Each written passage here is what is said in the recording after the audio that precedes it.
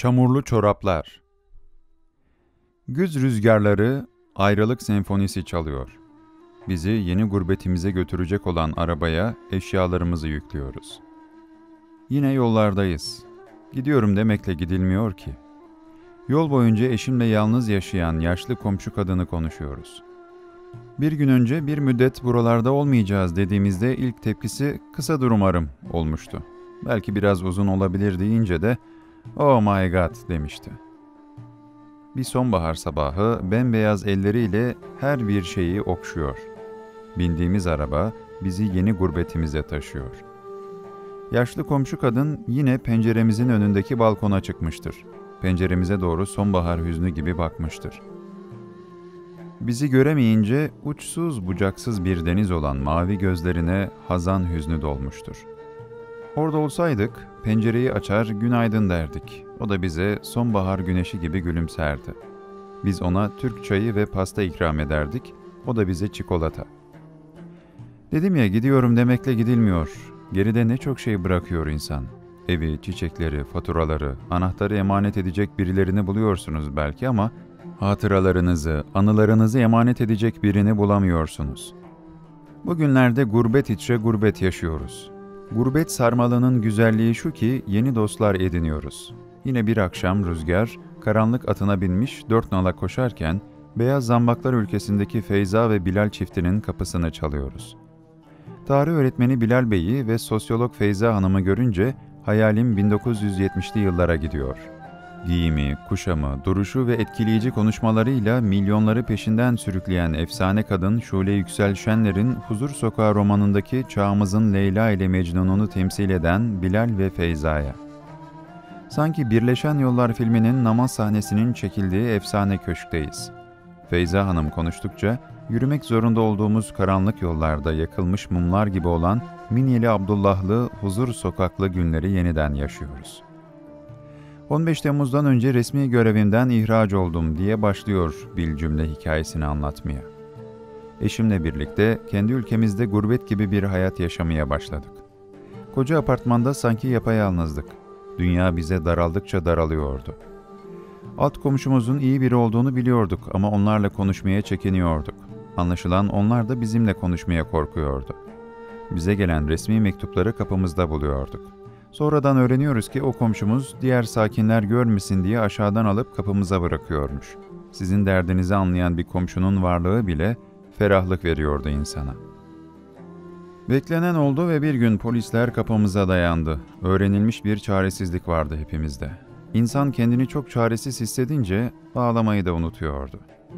Gözyaşları da yalnız bırakıyordu insanı. Suyu çekilmiş pınarlar gibi derinlere, çok derinlere iniyordu. Serbest bırakılıp evimize döndüğümde alt komşumuz geldi. Polislerin arasında kucağında çocuğunla giderken gördüm seni. Arkandan çok ağladım dedi.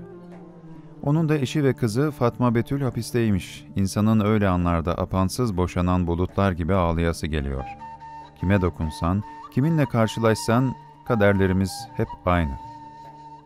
Yıllar yılları kovaladı. Alt komşumuzun eşi ve kızı Fatma Betül hapisten çıktılar, evlerine döndüler.'' Bu defada Yargıtay onamaları giyotin gibi işlemeye başladı. Ülkemizden çıkmaya karar verdik. Eşim Bilal Bey'in yurt dışı yasağı yoktu. Yolda yakalanırsak hep birlikte hapse girmeyelim, birimiz dışarıda olsun hiç değilse düşüncesiyle onun daha sonra gelmesine karar verdik. Alt komşumuz Fatma Betül de sizinle gitsin dedi. Sevdiklerimizi geride bırakmak çok zor oldu. Annem çok ağladı. Babam kaçakçı ile buluşacağımız noktaya kadar getirdi bizi. Yolda kucağında bebeğiyle Firdevs ablayı da aldık.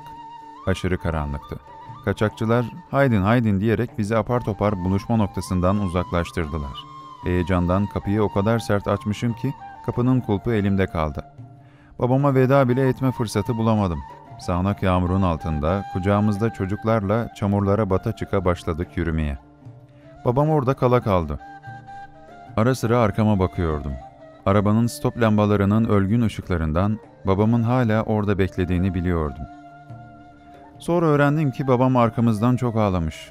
Göklerle yarışmış babamın gözleri. Bu babamın benim bildiğim ikinci ağlayışıydı.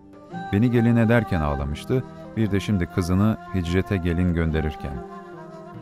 Hoş bir tarlada zifiri karanlıkta yürüyorduk. Benim kucağımda oğlum Abdullah, Firdevs ablanın kucağında kızı Ela vardı. Kaçakçı çok hızlı yürüyordu. Ondan kopmamalıydık. Sağnak yağmur sadece geceyi değil, kucaklarımızdaki bebekleri de uyandırdı. Ağlamaya başladılar. Onları bağrımıza bastırıyorduk ama yağmurdan koruyamıyorduk. Dizlerimize kadar çamurlara batmıştık. Terlerimiz yağmurlara karışıyordu.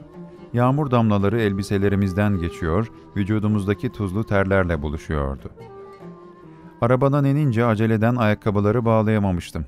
Ayakkabıların önce biri, sonra diğeri ayağımdan çıktı. Ayakkabılarımı eğilip alamadım. Çoraplarımla başladım yürümeye. Ara vermeyen, soluk aldırmayan bir yağmur iniyordu. Biliyorduk ki bu böylece sürerse yolları, tarlaları su basacak, yürünmez hale gelecekti. Önümüzde 10-12 saatlik bir yolumuz vardı. Önümüzdeki ümit, yıllarca düşman bildiğimiz Yunanistan'a geçmek, arkamızdaki korku, dün dost bildiklerimiz tarafından yakalanıp hapse atılmaktı. Uzaklarda kabaran derelerin korkunç uğultusu ve yakınlarda çamura batıp çıkan ayakların boğuk hışırtısı. İkide bir sendeliyoruz. Kucağımızda çocuklarla çamura kapaklanıp kalmak işten bile değil. Korkumuz düşmek değil, önümüzdeki kaçakçıyı kaybetmek. Yüzüm ve vücudum belki de yağmurdan fazla döktüğüm soğuk terle sırılsıklam oldu. Dizlerimde ayaklarını çamurdan çekebilecek kudret gittikçe azalıyordu. Üç yaşındaki oğlum Abdullah sanki her şeyin farkındaydı. Anne indir, yürüyeyim diyordu. Yağmur, ter, gözyaşları yüzümü yıkaya yıkaya bir teviye mola vermeden yürüyorduk. Oğlum arada bir Betül abla bizi bırakma diye bağırıyordu. Bir ara karanlığın içinde kaybolduk. Kaçakçı peşimizden koştu geldi. Meğer geldiğimiz yöne doğru gidiyormuşuz. Sanki sevdiklerimiz bizi çağırıyordu. Sabaha doğru Meriç göründü. Gecenin karanlığında azgın sular ürpertici sesler çıkararak köpük köpük akıyordu. Kaçakçı botu şişirmeye başladı.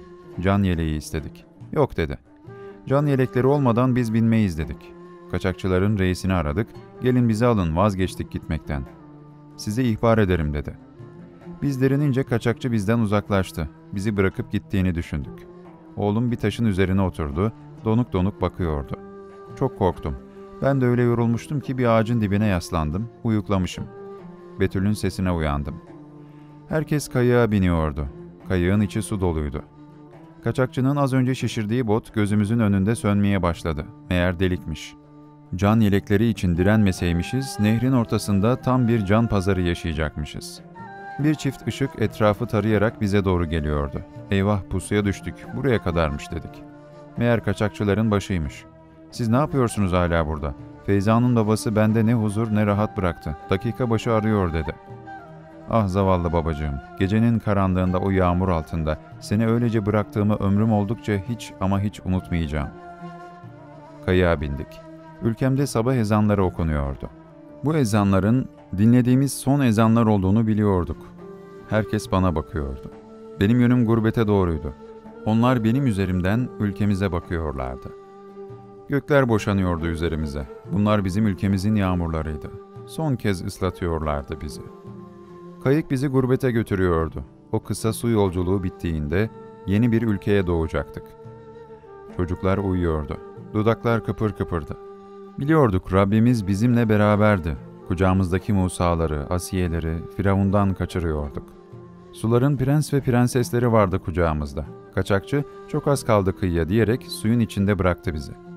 Bizim için ne fark ederdi? Zaten sarılsıklamdık. Düze çıkmak için kaygan ve çamurlu bir yamacı tırmanmamız gerekiyordu. Değil kucağımızdaki çocuklarla tek başımıza bile oraya tırmanmamız imkansızdı.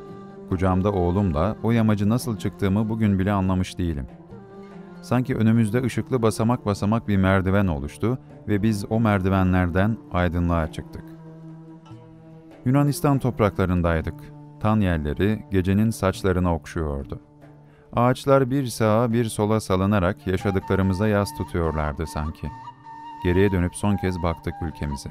Ezanların susmasıyla ülkemiz derin bir sessizliğe gömüldü. Üstümüz başımız çamurdu. Ela'nın bütün vücudu buruş buruştu. Uzun süre suyun içinde kalmış da kanı çekilmişti sanki. Yeniden yürümeye başladık. Güneşin doğuşu öncesi tatlı bir aydınlık ışıdı doğu yakasında. Yunan polisi gördü bizi. Kendimizi tanıttık. Gerek yok tanıtmanıza, biz sizi tanıyoruz dediler. Polis ayağımda ayakkabılarımın olmadığını fark etti. Gözleri doldu. Bu çoraplarla mı geçtin Meriç'i? Evet dedim. Bu çamurlu çoraplarla geçtim Meriç'ten. Beyaz zambaklar ülkesinde gece bir hayli ilerlemişti.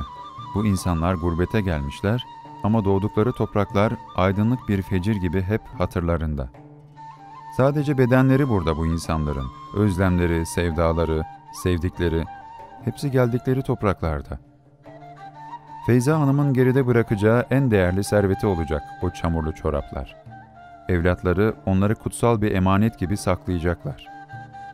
Evlatları o çorapları birbirine her gösterdiklerinde dudaklarından hep şu sözler dökülecek.